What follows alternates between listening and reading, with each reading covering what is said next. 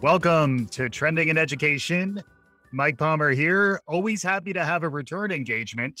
Today we have Ryan Craig returning to the show. Ryan writes a biweekly newsletter called Gap Letter at gapletter.com. I was just ramping up on it. It'll be part of what we talk about in our conversation today. First off, Ryan, welcome to Trending in Education. Welcome back. It's great. Good to see you again. Glad to be back. It's, uh, I guess, a high compliment that you know your listeners didn't uh, bar me from returning. Yeah, no revolts uh, as far as I can tell. No, no boycotts were inspired. So, so all is good. I do, I, I do have a tendency to offend people. Yeah, Uh, yeah, a little bit, a little bit of edge. You know, a little bit of you want a little mustard on your hot dog. I always like to say, but uh, but Ryan, just reading off some of your claims to fame if folks hadn't heard. Ryan wrote a book called College Disrupted in 2015, and then A New U Faster and Cheaper Alternatives to College in 2018. And then writes regularly for Forbes, TechCrunch, Inside Higher Ed. I really have been enjoying the newsletter, but it's been a little while. You know, we all are aging in dog years these days, Ryan. So, what have you been up to lately? What's going on in your world? yeah, no. Look, when I wrote the book, what three years ago, it was sort of a guided tour through the emerging landscape of what we call last mile training, which is effectively what is needed to fill the gap between the education and employment ecosystems, the combination of digital and tech skills, platform skills, plus business skills, knowledge that our existing higher education institutions don't train on and that companies and employers are increasingly requiring Mhm. in entry level positions, you know, sort of the landscape of boot camps and apprenticeship programs. And we sort of hit upon a formula that really worked better than anything we'd seen. So I forget the last time we spoke, but it, it may, I think it was probably when my firm was called University Ventures. We changed our name to Achieve Partners in part because the pathways that we're we're building aren't necessarily university focused Mhm. and it's not ventures because the, the the model that we we hit upon was in recognition of the fact that the hardest part of this gap to bridge is the end connection to the employer and developing those connections as an educational institution or training provider is really hard if not impossible Mhm. i mean developing them in a deep meaningful way not just will you come recruit my students so we had a lot of success starting with what I'll call intermediaries uh, that are already in the market, that are already serving dozens or hundreds of employers as clients. Mhm. Business services companies, solutions companies, staffing companies that are operating in skill gap sectors like software development, data science and analytics, cybersecurity, Salesforce, Mhm. you name it. And so that's what we've been doing. We raised a, a fund we call our, our workforce fund, where we're acquiring business services companies in skill gap sectors of, of tech and now healthcare. We, we bought a, a healthcare staffing company that's staffing nurses and occupational therapists and speech language therapists into schools, school districts, Mhm. all in skill gap areas. And we add last mile training to these businesses and transform them into what we call talent as a service Mm. companies, where in addition to delivering the services, solutions, experienced talent they were delivering previously, they're now delivering a new product, which is purpose trained entry level talent that we can make available at scale on a try before you buy basis Mhm. to employers. And that really solves the problem that candidates have, which is they're interested in getting a job in cybersecurity or Salesforce or data science and analytics, but they don't have the specific skills. And more important, they don't have the work experience. And then also solving the problem of employers who, I mean, there are lots of people who have, you know, maybe a trailhead certification for Salesforce, but they've never actually worked as a Salesforce administrator. Right. And so where are you going to get that experience? Who's going to, who's going to hire you? Well, our company, Cloud for Good, will hire you because they'll hire you into what they're- call the Talent for Good training program. And uh, you'll go through, you'll get the skills and you'll get the experience because you'll be assigned on a client project. Right. That's a two year pathway where the expectation is after two years, you're going to convert over uh, to an employee at the client. Yeah. And so clients love it because they're not only getting the work done, but they're getting the talent at the end of the line, the talent that they couldn't find and talent that tends to persist a lot longer than direct hires. Yeah. Um, so it's working extremely well. We've made five investments in the last year and a half, and uh, we'll probably do another three or four this year. Again, you know, looking at all of these different areas where I mean, you can look at the BLS data and we'll tell you where we have all these open, unfilled jobs in the economy. And that's where we need, we desperately need to build intermediaries to help bridge the, bridge the gap. Yeah. And it's interesting the evolution uh, from university ventures to achieve partners in that it, it sounds like you're thinking and and maybe some of your investment theses evolved over time in terms of how much change was actually going to be affected within the university setting within the traditional higher ed ecosystem versus outside. We do want to get a little bit into the Gap Letter stuff because that's sure. spicy and entertaining. We haven't given up on universities so we have an ed tech strategy as well which is focused on investing in tech companies and platforms that are trying to sort of create a revolution from within. So I mm-hmm. think of our workforce strategy as revolution from without, and our ed tech strategy is revolution from within because there's a lot that we can do with technology to improve student outcomes. Well, maybe we could talk about both of those things in the rest of our conversation together. To make it more spicy, we want the spicy mustard on our hot dog, as we described before. The latest edition of the Gap Letter is talking about Don't Look Up, the recent Netflix film that did garner it's it's an Oscar nominated film to make it relevant, which is great. We like to connect to what's relevant out in the world. You were connecting some interesting things to the way Don't Look Up thinks about, I guess, climate change, eh, you know, manifested in the metaphor of a big meteor that's coming our way or comets coming our way. You were making some interesting analogies around STEM, science, technology. Could you expand a little bit on what you wrote about? Yeah, no, absolutely. The quote that I start off with is, "But it's all math," and uh, that's a line from the from the film. And you know, the point is that science and and and tech have never been more important to us, and we're falling down as a country in lots of different ways. I mean, just look at the way in which we have red states and blue states that are increasingly evaluating or acting on risks based on based on ideology or grievance instead of any effort to assess, let alone calculate probability. Mm-hmm. And then you look at cybersecurity and AI emerging risks, and you know you realize that in today's very technological world, the bar for science and tech literacy has to be so much higher. But what have colleges and universities done in response?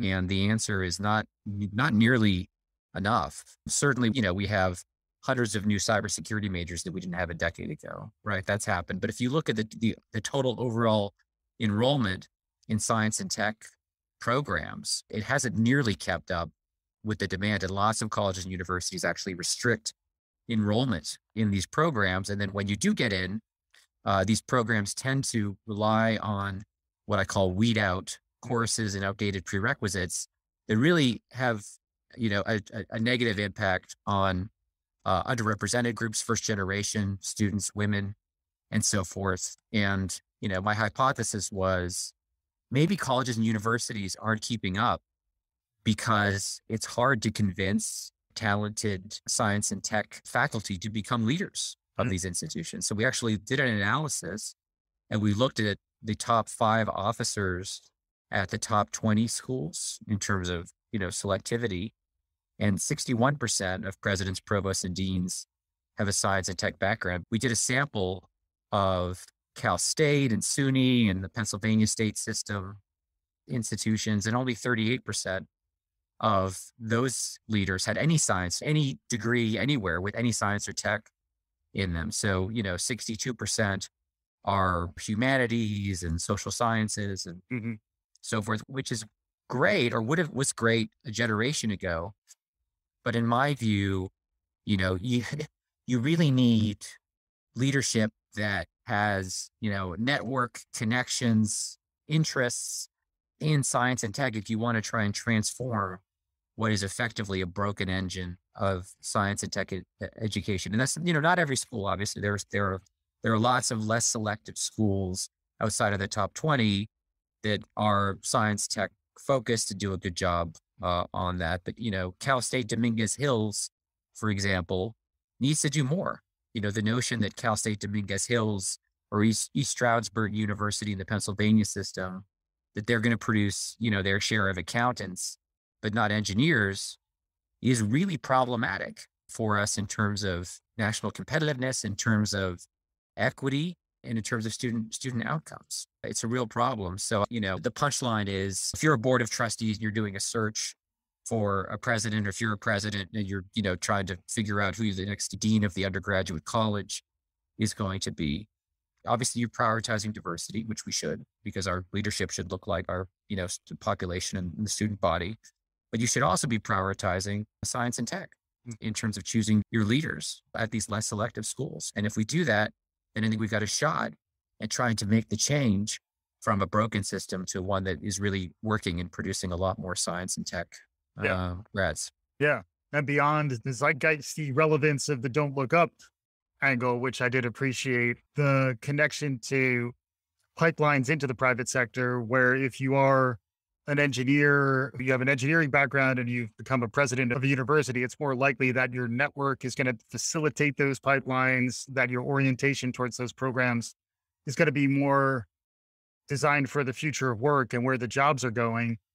Any read on that? Anything new and emerging around job trends? Or you, mentioned cybersecurity. A lot of people are talking about Web3 nowadays. I, I don't know how you're reading what's emerging in the job marketplace, but I'd love to get a little bit of perspective from you on that. yeah, that. you know, I mean, I think this the sort of new stuff on the margins gets probably too much attention. You know, I mean, there are 300,000 open unfilled Salesforce jobs in the country, right? I mean, Salesforce is doing their Olympic advertising. What is it? Team Earth. let's not worry about Mars just yet. We've got problems at home. So, you know, let's not worry about emerging areas of AI and so forth. Let's focus on, you know, where the where the jobs are, the unfilled jobs are. And they're in Salesforce and they're in all these sort of platform oriented skills, HubSpot and others.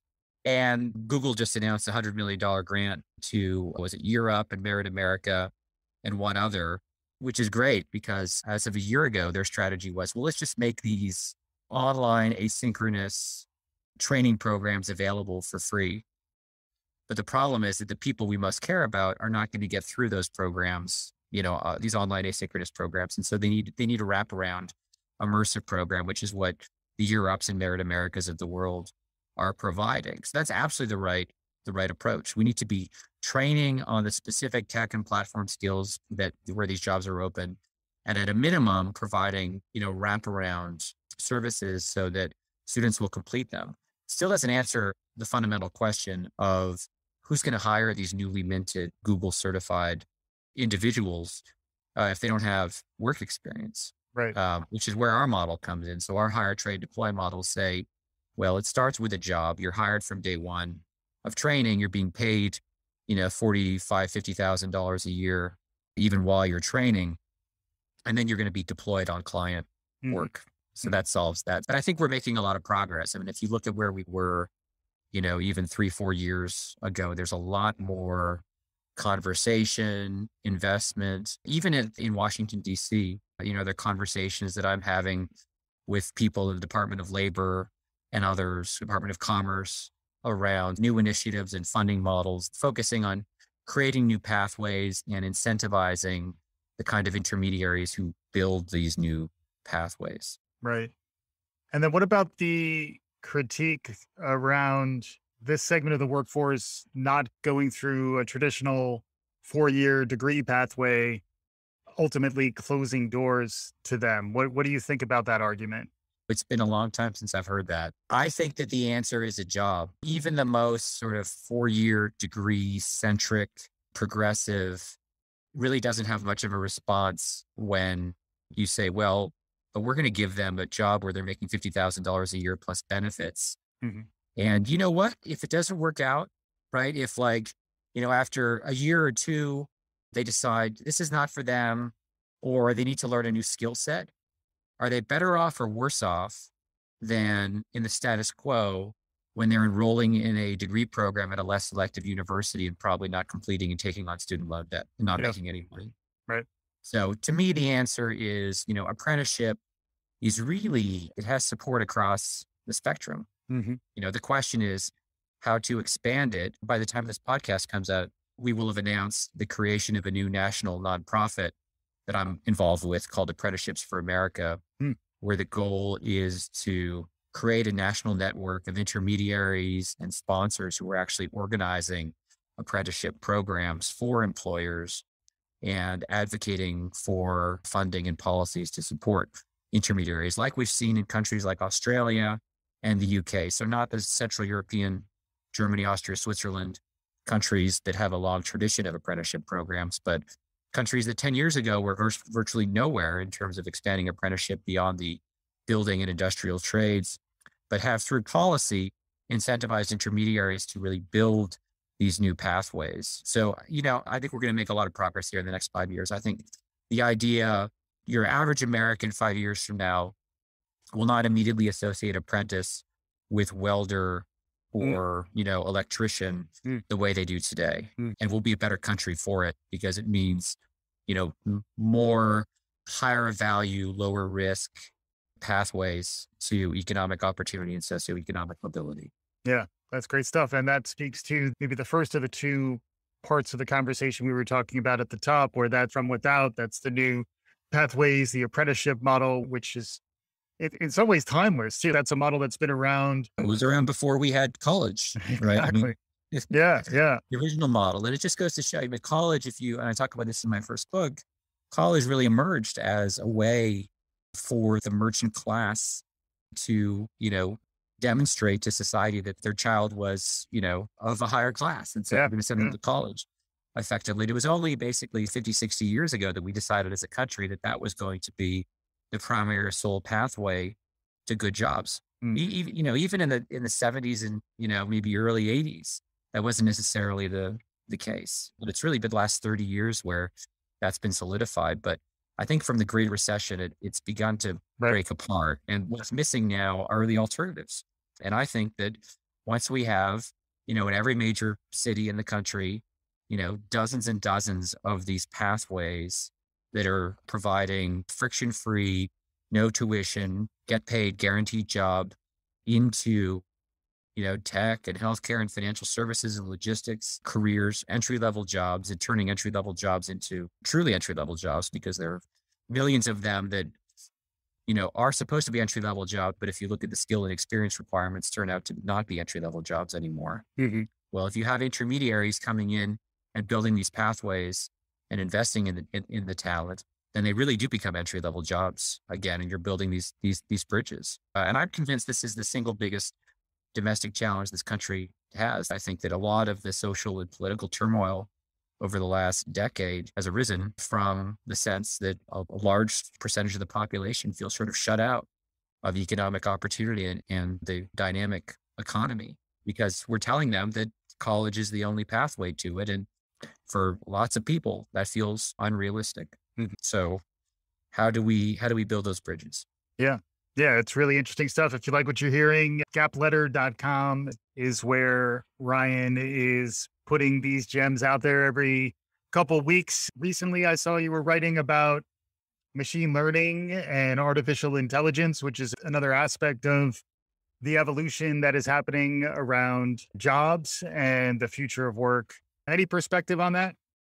The point I was trying to make is that it seems like, in many respects, machines are doing a better job learning than people are. What can we learn from machine learning? But you know, I I, I think that when you have over 10 million unfilled jobs in the country, you know, we don't really need to focus yet on all the jobs that are going to be lost or transformed through technology. Mm-hmm. The, the, the focus really ought to be on how do we take people who are unemployed or underemployed or unhappily employed and skill them and provide them with the requisite work experience so that they'll be able to go in and fill some of those jobs. Yeah. And, you know, technology has always changed uh, the nature of work and it's going to do so. And I, I don't feel like we're going to see a step function change, you know, even with AI and RPA and so forth. I feel like it's going to be, you know, more of a, more of the same in terms of the level of change that we've, we've seen over the past, you know, decade or two. And then what about the evolution on the employer side, which I, I, saw you noting IBM and other organizations removing degree requirements and and also for a lot of your thinking to work it requires engagement with the private sector to develop the apprenticeship. What's been happening in that space? Yeah so look i would divide the employers into three camps you've got the visionary mission driven employers like ibm and i think ernst and young and others that really understand the current hiring system has not only created issues in terms of talent shortages for their company and workforce, um, is creating bigger social problems as well. And so making an intentional effort to change hiring practices really from the top of the hiring funnel on through. That means removing degree requirements from job descriptions. Interestingly, I just saw yesterday, Indeed, the biggest job board, just did that for their own jobs. Ah. it's a good indication. They just removed degree requirements from their own jobs. Hmm. And then the second category would be employers who are sort of being forced to make changes simply because they can't fill, they can't find talent. So I think that's a bigger pool of employers, but the biggest pool are employers who are just doing nothing uh, and leaving leaving jobs unfilled.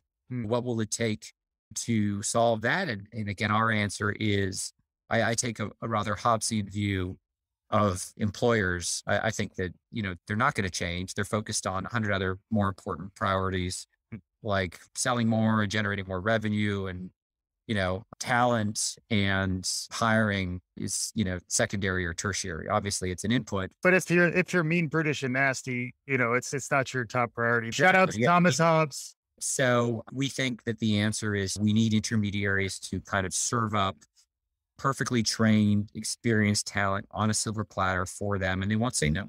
Mm-hmm. And I think that probably characterizes 90% of employers out there. They're not going to change. They're not going to run their own apprenticeship programs but they will take talent and they'll pay for it if you train them up, give them experience, and deliver it. So, you know, I, I think that this emerging intermediary uh, ecosystem is going to be very large. Could it be as large as the current post-secondary education system? Yeah, probably not, but it'll certainly be a reasonable fraction mm-hmm. of that size as as we bridge that gap, and that's a that'll be a big market. Yeah, and we've made it almost a half hour into this conversation without talking about the great reshuffle, the great resignation, the great right. uh, whatever you're going to call it. What are your thoughts on the spirit of the troops out there in terms of the broader job market, career sensibility? Is that myth? Is that real? No, it's absolutely real. Even at our, our own portfolio company, I mean, fortunately, they're all sort of impact oriented, mission driven, which is not something every company can say. So we haven't really had retention uh, issues at our companies. But I, I understand it. it makes perfect sense. There are a lot of jobs out there that are just bad jobs. And a lot of those jobs, you know, particularly frontline worker jobs in, you know, hospitality and travel and logistics and transportation and so forth. You know, what is the what's the pathway? And so I've written about how you have these large employers of frontline workers like Amazon, for example, that have been investing in, well, initially it was free college, which was primarily uh, a retention uh, tool as opposed to a sort of upskilling or human capital development tool. They would literally measure, they, they wouldn't try to measure human capital development, but they would measure, you know, if you're enrolled in an online degree program that we're paying for, how much longer do we get to keep you right. in your bad job? Mm. So benefiting the employer more than the employee mm. large ways, but that's going to migrate over the next few years to pathways that are, you know, not off the shelf online degrees that online universities want to sell that are probably barely related, if at all, to, you know, the career aspirations of, of, of the worker or realistic pathways, but instead individualized pathways for that company. So at Amazon, you know, how do you get from, you know, picking, packing, and shipping to working as an entry level developer at Amazon? What does that pathway look like? It's not going to look like a degree program from an online university. It, it will look like a series of short, discrete module skill based that take you from here to there that's specific to that, to those jobs at that company. And so, you know, I think that's going to be a big sector. I think that's where the sort of guilds and EdAssists and InStrides are heading. And I think that's where Coursera wants to go as well to build these, you know, intra enterprise pathways for you know frontline workers and really all entry level workers who want to move on and, and move up. And it's that that sort of uh, pathway that turns an intolerable job into a tolerable job because you you have a path, you have a clear path, and you see where you're going. And I think the economic mobility that we're trying to build, you know, in building these bridges from the education to the employment ecosystem, we need an equal number built within large enterprises. Right. We can accomplish both of those things. It'll be a better country. Yeah. And then at the same time, folks will need to be portable when they go to their next job. They want to be able to identify the skills and the competencies that they have. I know that's another space that you are tracking. Any thoughts on the credentialing, micro credentialing, that space? Well, we just sold Credly to Pearson, and that was great. Mm. Pearson's going to become a leader in this digital credentialing space. But yeah, it's mm. it's part of the even 10 years ago, we were still in the realm of the macro credential, which is the degree, which, you know, employers, if you have a degree, employers kind of had a sense of, you know, you were capable, that you've learned to learn, you know, you could do hard work, you could buckle down, you could, you could stick with something for a period of years. The, the sheepskin effect, I believe it's been called. Yeah, yeah. And those are all characteristics of a good employee. And now, you know, it's much more skill specific and we have the ability to assess and measure skills and award micro or digital credentials and recognition of those skills. Credly's basically built out the plumbing for awarding those credentials. The problem is that employers still don't really have a way to understand what those credentials mean in terms of skills, particularly at the top of the hiring funnel. If you've got a thousand applicants for a job and you decide to interview 20 of them. You know, once you're interviewing the 20 of them, you're going to be able to have a conversation with the candidate about the micro credentials they may or may not have. And you'll be able to have some understanding of that. The, the problem is that as at the, the top of the funnel, your applicant tracking systems really aren't yet equipped to evaluate those micro credentials and make sure that candidates with the right micro credentials are making it through and candidates that you know, don't have them are not making it through. Yeah. As you start digging, it gets more and more complex because, you know, how do you, what kind of assessments do you need? And, and it gets, that's right. Gets pretty involved. The other thing that we haven't really gotten into is what's happening in the learning experience itself. I believe when you were talking about the Winter Olympics, you were outlining some of the features of good online learning and, and, ways in which the the design makes sense. I know you are also making some investments into the the learning experience and that side of the ecosystem. Any high level thoughts or, or perspectives to share on the, the learning side of the equation? Yeah, we've just been through uh, a remarkable period of online learning during COVID. And uh, we know what works. we know we know what doesn't work. And there's still millions of students enrolled in sort of old line, asynchronous text-based online courses that don't have, you know, any synchronous component, don't have integrated experiential learning, aren't taught by practitioners, don't have stackable credentials, preferably consisting of industry certifications instead of made up certificates employers don't or won't understand, don't have mentoring, don't really have built in career services or tracking, don't have on ramps, don't have off ramps you know, all this requires investment. The good news is that we have a number of very large online universities that are generating a lot of surplus mm-hmm. for their public and nonprofit owners that do have the potential to build much, if not all of this into their programs, but we're not there yet. And so we just need to realize that we're still, although we've been through two years of online learning, we're still in the early innings yeah. Uh, of online learning. But students, students will go where the outcomes uh, are. And if you're an online university and you're not doing any of the things I just mentioned, you know, odds are your outcomes, your employment outcomes are going to be poorer, which means that you're not going to attract talented students in the door. You're not going to get employers, and it's just going to be a vicious circle. You know, there it's going to require investment. Yeah. And and then there are some good examples out there. Western governors and Southern New Hampshire generally are are perceived as positive aspects of the model, but there's a little bit of murkiness as far as what do we mean by an online university. You know, you were talking recently about the use of global in your in the names. There's there, there's interesting stuff to be had. I would recommend this newsletter, the Gap letter. Subscribe to it. Hear from Ryan some more as we're getting closer to conclusion. Outside of the stuff that we've been talking about, looking further down the road or more of moonshot type ideas, anything outside of education in the space you've been focusing on, what else is capturing your imagination these days? Are there other ideas or things that people should be paying attention to?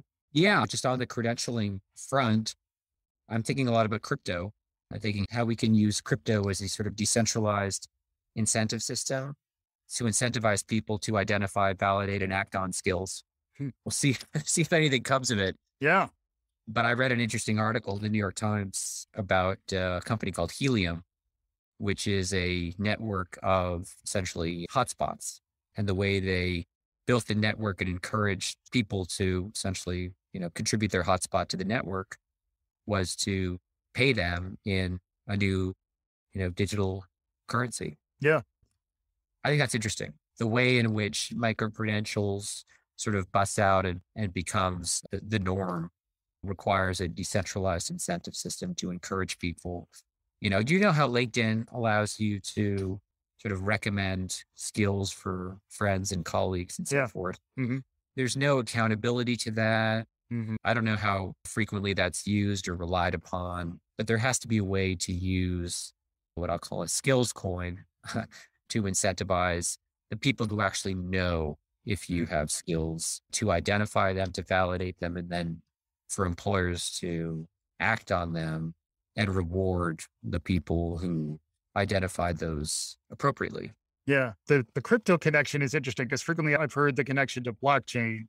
Yeah. But but the incentive that's built. Yeah, putting a digital credential on a blockchain is fine. From a functionality standpoint, is that different from what Credly's doing today? Not really. Not, not really.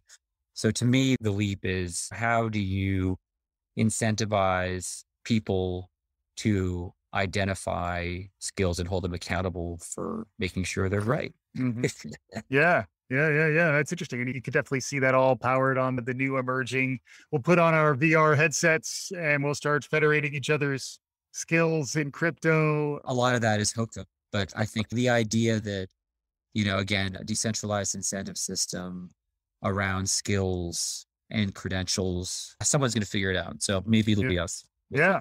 All right. It's a nice one maybe to end on. Ryan Craig is the managing director of Achieve Partners. He's also the writer behind the Gap Letter, which I would recommend folks to subscribe to. Lots going on here. Ryan, always a pleasure to have you on. By the way, talking about incentives, with your third appearance on Trending in Education, you qualify for a refrigerator magnet. So I want to you with that. But thank you so much for joining us. That's great. That's great. Good to see you, Michael. Thanks for the conversation. Awesome. Hopefully you enjoyed what you're hearing. If you did, write us a review, share the good word. We'll be back again soon. This is Trending in Education.